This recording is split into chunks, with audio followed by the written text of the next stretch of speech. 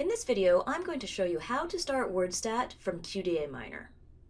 WordStat is a quantitative content analysis add-on module that can be used to analyze words and phrases found in documents.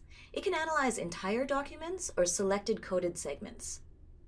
It can perform simple descriptive analysis or let you explore potential relationships between words, phrases, or categories of words and other numeric or categorical variables. To start WordStat from QDA Miner, select Analyze at the top of the screen and scroll down to Content Analysis. Select the variables that contain the text that you'd like to analyze from the drop-down menu. You can choose to analyze all of the text in these variables or only certain coded segments by selecting the Coded Segments radio button, choosing the Is or Is Not from the drop-down menu, and then choosing the appropriate codes from the list. You may also select coded segments based on a minimum frequency criteria by selecting this button. You're then given three in relationship options, which let you analyze relationships between text and quantitative or categorical variables.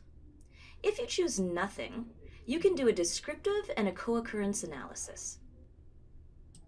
With the other variables option, you can analyze the relationship between the text and quantitative or categorical variables chosen from the drop-down menu.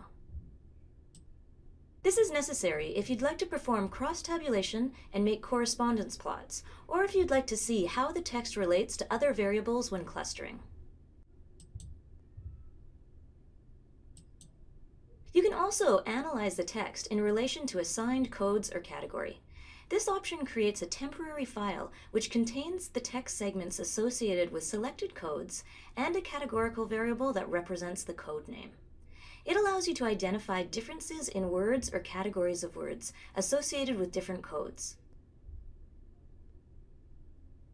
Select Include Category for remaining text to add text segments that are not associated with any of the selected codes.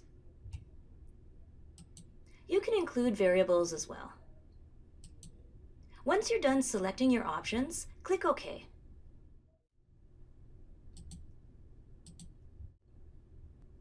And WordStat appears.